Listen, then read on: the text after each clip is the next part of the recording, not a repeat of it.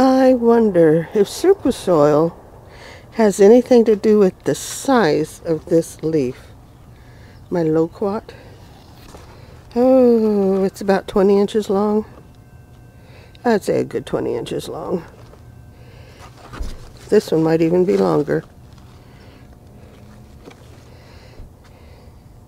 This is where my Jerusalem artichokes are growing. And a seed from a loquat ended up over here. Yeah, I'll let it go. Here's the other loquat. But nothing's blooming. And my grass is pretty much all dead, mainly because I'm not watering it. I'm not wasting the water. I'm not wasting the water on a lawn. Not when I can water my fruit trees.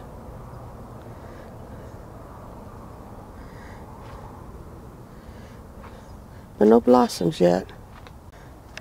There's the other loquat. Got some good sized leaves on it too, but not like over there. Let's see what's up in the garden. That's mint. That's catnip. No more kitty. Oh, gotta get those in the garbage. I don't want them dropping. I did plant I did plant some four o'clock seeds. And I planted some honeydew and cucumbers. And honeydew's alive. Cucumbers are gone. And I've been trying to keep the grapevine cut back. Because if I'm not going to get them, I'm not going to take care of them. I was wondering if maybe they came out over here. The critters can't get to them that easily. We'll find out. Still have some strawberries, not that many. Still haven't done anything with the date palms. And my animal deterrent seems to be working because the raccoons came in and tore all of this up. Strawberry came in and tore all this up. And there's my Jerusalem artichokes. But look at the morning glories. Oh, look at them. They're so pretty. And the dragon fruit did bloom. I don't know if there's any dragon fruit up there or not. Oh, I think that one needs watering. Deadly nightshade. All the strawberries are gone. Now I know why they say to replant them every three years, because the fifth year they're dead. More strawberries. I think I got four plants that are bearing. This is uh, summer lettuce. I've already saved a whole bunch of seeds. And look at this. I planted corn. I did, I did, I did and you can tell by the sun. That one gets the most of the sun, and it goes downhill from there. Because the sun rises on this side and it goes over to that side. Those I planted from seed that I had just soaked overnight. And it took them almost two weeks to come up. And so I went and sprouted on a heat pad this corn. I know it's too close together, but I'm watering it really well and often, and I'm feeding it very well. But these came up in three days with roots on a heat pad.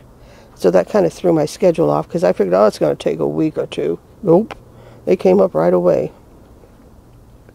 And I gave a whole bunch of them away because what happened was I just kind of dumped them on the heat pad don't know how many dozens.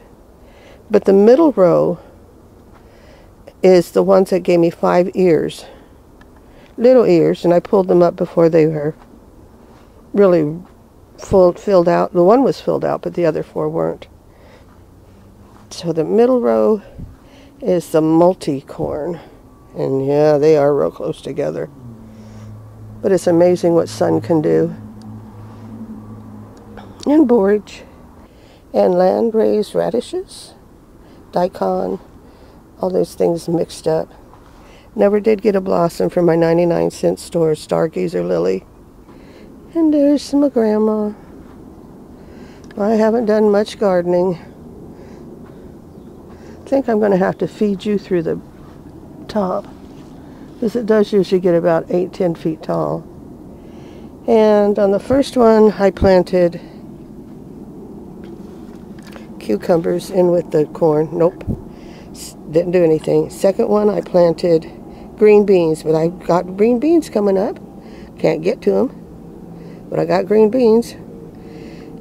This one was squash that I planted in the barrel. And this one was whatever was in the bottom of the container that I keep my seeds in. So who knows what all's in there. But we got morning glories. And something really likes morning glories, apparently. Well, let's go see what's going on in the rest of the yard. Uh, this poor tree is like three years old. Peach tree from seed. Got a drop in the face. And it just doesn't have enough leaves to protect the fruit. It was super loaded, as you can tell. And they just slowly died out, dried up. So I went and got these from Temu, little cloth planter bags. I can't reach them over there. I gave it a really good shot of nitrogen, but I don't think it really helped. I'm watering it really well. But hopefully I'll get some peaches that aren't all burnt up. And what was funny was the bottom of the tree bloomed started setting fruit, and then the top of the tree started blooming and setting fruit. So I figured I'd have a big crop over a long period. No, it hasn't done a June drop per se, but it's got a lot of dead fruit, shriveled up fruit. I see anything over here? Just pretty flowers. Compost, I love my compost. Well, I tried air layering. I don't think it worked. Hmm. It went two months and nothing happened.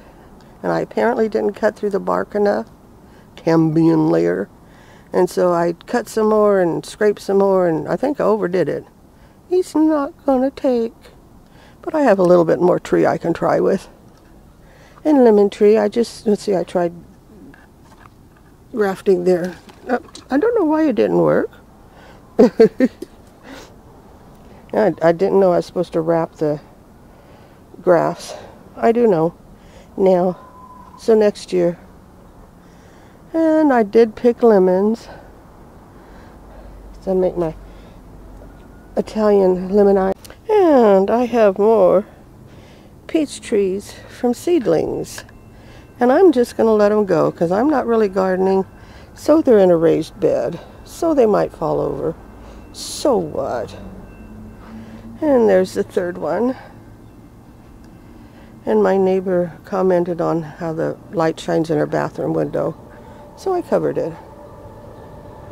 And here's the little seedling that's only growing in six inches deep of soil because I lined the whole thing with plastic. It's trying to hold water I lined the whole thing with plastic because trying to hold water is impossible here in the desert. Zone 10B. And here's the other peach tree from seed. And it has one peach on it that I have seen. One whole peach. Now the cherry trees. Look at that. That's the one that I started last fall and transplanted it this spring under the fig tree back there. I should go look and see if I got any edible figs yet. And here's the cherry tree I started two years ago. I even put it in a pretty pot.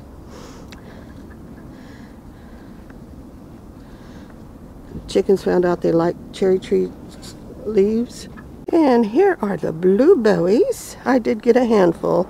Not even enough to bring in to make a blueberry pancake. And the tall one is Misty Blue. And this little one is Biloxi. And because I neglected to water them. There's some blues, not that many. Because this thing was literally, literally covered in great big clusters of blueberries. Instead, I'm getting one here and there. To save the plant, because we ended with three, four really heavy rainstorms in the spring when it's full of blossoms, I covered the whole back of the cage with a sheet, the top and the back, so it didn't get blown apart and rained on real hard. Well, the problem with that is I neglected to water it. And you know, it's raining, so why should I water it? It's raining. Then when I started watering the rest of the yard, the garden, I neglected to water this because I do it with rainwater. So that's how I almost lost everything. And I mean, it was so loaded. I could have made a big blueberry pie. So to solve the problem of me not watering, because I have to get in there, and if the chickens are around, that doesn't work, because they'll get in there and tear everything up. I'd stuck PVC pipe in there, and a watering can that had holes in it. See, da, da, da. and I just pour the water, rainwater into here, and once that one's get two gallon, I come over here and give it two gallons. So I solved that problem. I just have to remember to do it. Because they get rainwater. And this is three years now. I didn't plant it. It came up on its own. I got to get out there and do some trimming. It's, it's an okay tomato. It's not that great. But if you don't have any tomatoes, it's a fantastic tomato. And then here, I vaguely, vaguely, vaguely remember taking tomato seeds off of a paper towel that I found in one of the things. So I didn't know how old the tomatoes are or what they were. But I've been eating them. They haven't been, I haven't let, I have not let them completely ripen yet. Eventually I get tired of them and I will let them ripen instead of eating them. And from the top of the pot to the top of the plants, these were over six feet tall. And I didn't support them well enough and they fell over and I think it broke the main vine or yeah main stem or something. Because one chunk is not happy. Not happy at all. But I got lots of tomatoes. I'll make lots of salsa and I can throw them in the freezer and use them later. And they're pretty good tasting. When I first started tasting them they were kind of mealy on the inside I went ew don't like those yeah, this is the one with the avocado tree on the inside. Oh dear. Was it raccoons? Hmm. One never knows. And I have to have everything up and up high enough that the chickens don't get in it and trash it. There's that avocado tree. I did get three avocados the first couple of years and it had bloomed before but hasn't bloomed that I noticed since but I can't see up there either. Well that did take a while. It's a little on the heavy side and I'm old and weak now. I'm so weak. It's ridiculous. And this is kind of new. Let's see. Let's uncover it. That was my big artichoke little artichokes big plant little artichokes. And that is and that is part of the big one. But these are new. I started this one from seed. This one is supposed to have purple artichokes and my neighbor gave it to me. And this is, I started from seed. All those seeds, that's all that came up. But I will have more artichokes. And no, I haven't moved the greenhouse yet. Um,